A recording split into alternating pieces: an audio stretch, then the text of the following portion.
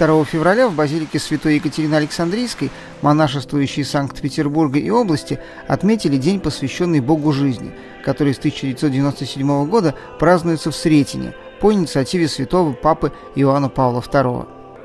В начале богослужений у юбилейных врат, согласно древнему обычаю, были благословлены свечи, и процессии все верующие отправились в храм. Это место стало своеобразным завершением в Санкт-Петербурге года, посвященной жизни – в городе Неве и области живут и работают монашествующие из почти 20 орденов и конгрегаций. Каждый из них имеет свое призвание. Кто-то занимается душепасторской работой, кто-то преподает, работает с детьми или заботится о стариках и бездомных. В этом и заключается красота и многообразие, посвященной Богу жизни. После проповеди все присутствующие в храме монахи и монахини возобновили свои обеты, данные когда-то Богу.